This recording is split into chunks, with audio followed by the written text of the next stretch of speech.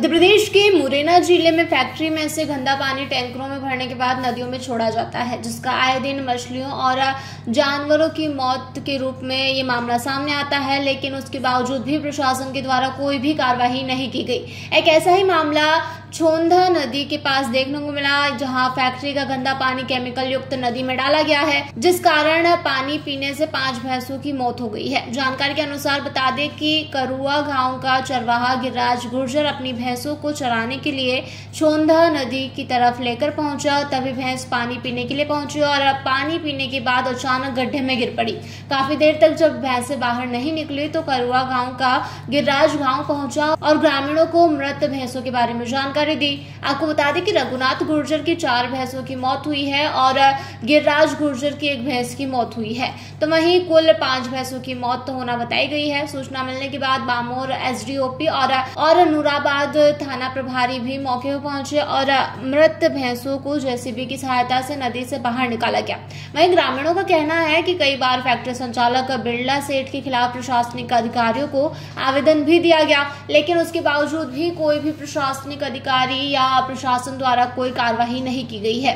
Factory मालिक के द्वारा देर रात टैंकरों की सहायता से गंदा पानी नदी में छोड़ा जाता है। इससे पहले भी करीब एक सैकड़ा गायों की मौतें हो चुकी थी। उसके बावजूद भी प्रशासन के द्वारा कोई भी कदम नहीं उठाया गया था। जिसके बाद आज मंगलवार को दोपहर पाँच भैंसों की केमिकल का पानी पीने से मौत हो गई। फ़िलहाल प्रशासन के अधिकारी मौके पहुँचे और पूरे मामले की जाँच में जुटे हुए हैं। क्या घटना हुई? घटना जी ये नदी में डल रहा है केमिकल पर साल भी पर साल भी ऐसे गैया खत्म हो गई पाँच ब्याई तो जे भी प्रति रहे थे हमने कोई लेना नहीं हम रोके थे गल ने रोकी थी। हम यहाँ पे आते दो बजे के टाइम पे। तो दो बजे के टाइम पे हमने कुछ तो बैंक डांट ली।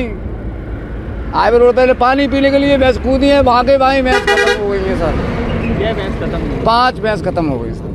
कहाँ से केमिकल ये बिल्लावारी फैक्ट्री में थे केमिकल आता हमने पर भी साल मैंने तोस भी मैंने ये कही थी ने भैया जे गया टलियाँ आ रहे हैं हमको टाइम पास कर दो भाई। पर नहीं ये तो सर ये है कि हमारा कुछ नहीं है वो तो सरकार का हो गया सब।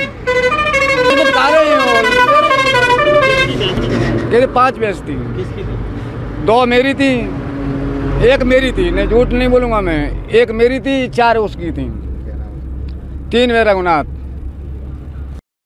अभी हमें ग्रामीणों ने जैसा बताया कि यहाँ पे जो इंडस्ट्रियल वेस्ट है, उसकी वजह से पानी प्रदूषित होता है। और अभी जो भैंसों की बॉडी मिली है, इनके अकॉर्डिंग ये जो भैंस है, इनकी मृत्यु ऐसे जहरीले पानी को पीने की वजह से हुई है। तो हमने वेटनरी डॉक्टर्स को बुलाया है, भैंसों का पोस्टमार्टम किया जाएगा और पानी का सैंपल लिया जाएगा। और इसकी जो रिपोर्ट होती है, उस आधार पर फिर कानूनी कार्रवाई करी जाएगी। प्रेमा फैसाई तो वेस्ट मुझे दिख रहा है इंडस्ट्रियल वेस्ट पास में ही मुझे दिख रहा है। तो इस आशंका से इनकार नहीं किया जा सकता कि ये वेस्ट की वजह से पानी पोल्यूट हो रहा है। इसी वजह से हमने ऑफिशियल्स को बुलाया है। सैंपल लेने के बाद में तो जो भी हमारा डाउट है वो कंफर्म हो जाएगा। उसी के आधार पर हम कार्रवाई करेंगे मुरैना से देवेंद्र सिंह, राजपूत की रिपोर्ट।